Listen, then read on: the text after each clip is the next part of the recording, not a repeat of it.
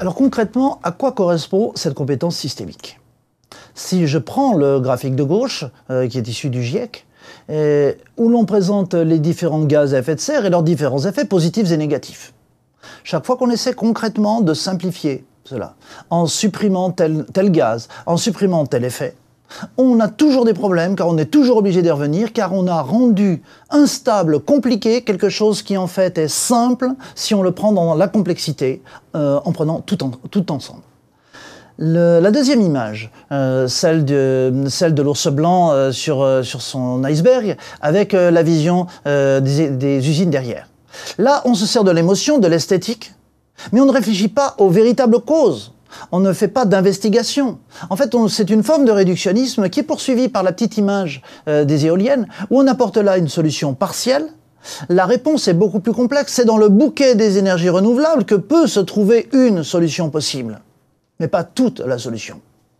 Si l'on prend le, diagramme en camembert, on se polarise toujours sur la question de la consommation énergétique directe d'électricité euh, euh, combustible fossile des ménages mais ça ne représente que le quart de la consommation des ménages. En fait, euh, on voit qu'un huitième de la consommation des ménages est lié à l'énergie grise, simplement liée à l'apport, à la maintenance de ces systèmes électriques et de, de la chaudière, etc.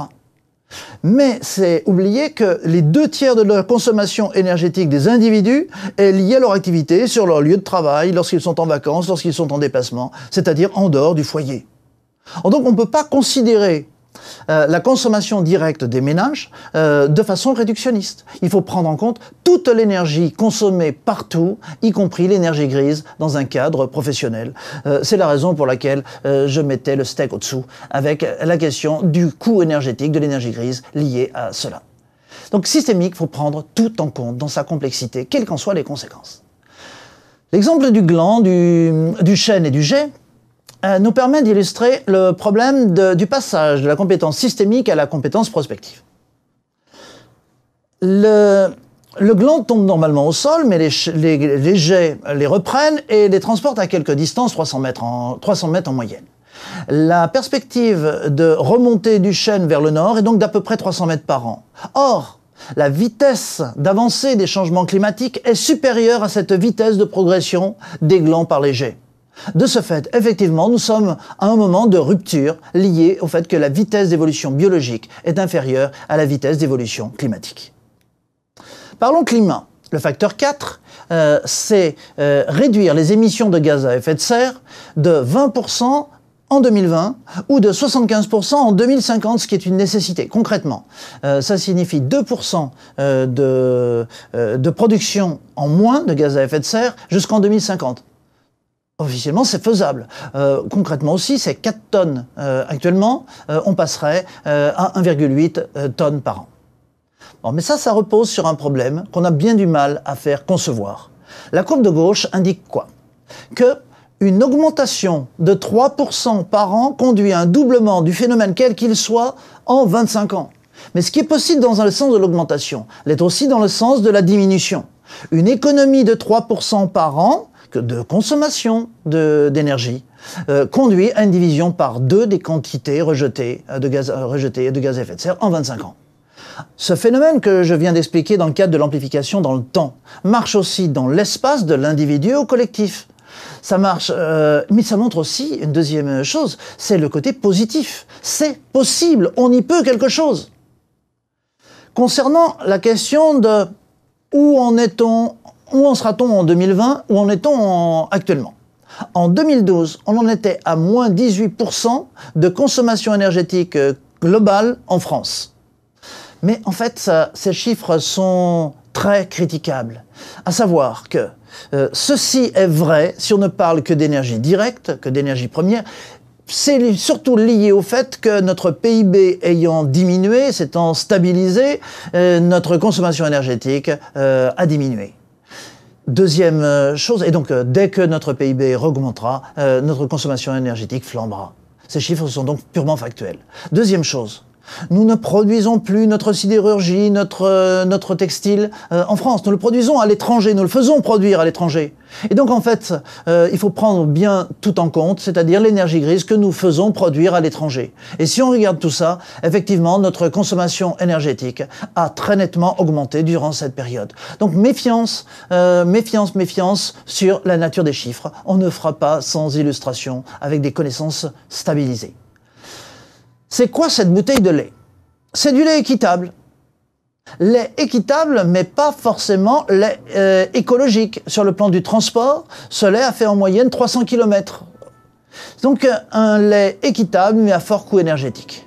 Les fruits, euh, sur la photo de droite, qui viennent de partout, en toute saison, c'est un gouffre énergétique. Alors on pourrait dire, on arrête de consommer des fruits hors saison, des fruits de l'autre bout du monde. Mais en fait, c'est aussi un bienfait économique et social vis-à-vis de certains pays qui, sans cela, auraient d'énormes difficultés financières et sociales. Envisageons les changements. Euh, le problème des changements est que on ne les prend pas du tout de la même façon selon qu'ils sont volontaires ou subis. Selon qu'ils sont progressifs, et là ils passent inaperçus, ou rapides, crise, là on les voit selon qu'on les considère comme positifs ou négatifs, selon qu'ils sont irréversibles ou non, à, condition de le savoir. En fait, tout ça pose un problème. C'est on s'accommode ou on entre en rupture. Et effectivement, nous sommes là sur un véritable débat. Débat qui est complètement euh, d'actualité euh, avec la COP21, à savoir, euh, nous devons exercer notre responsabilité dans un cadre éthique. Responsabilité individuelle, collective, de là où on est, avec nos moyens, évidemment, nous n'avons pas tous les mêmes moyens, nous n'avons pas tous les mêmes leviers d'action, euh, selon notre âge, notre position, notre statut, notre origine géographique. Sur le plan de l'éthique, l'éthique des vertus, euh, qui euh, considère que ce sont les, visions propres de l'individu, ces valeurs qui sont importantes. La vision de l'éthique des normes, c'est en fait on se confère aux normes que l'on a votées, 25 mg de nitrate dans l'eau. On a aussi une éthique déontologique. Il y a des trucs qu'on fait qu'on ne peut pas faire, qui se font pas. L'éthique conséquentialiste, c'est bon, en fait, allez, peu importe les moyens, l'important c'est que c'est des effets. Évidemment, quand on parle de l'éthique, ça n'a plus aucun sens, il faudra parler des différentes formes d'éthique. Si l'on revient sur notre système de production énergétique français, depuis les années 73 à 85, tout notre système de production énergétique est en fin de vie. Et là, on a un dilemme. Soit on rentre dans un nouveau cycle de production de notre appareil de production énergétique. Ça veut dire qu'on refait toutes nos centrales électriques et autres.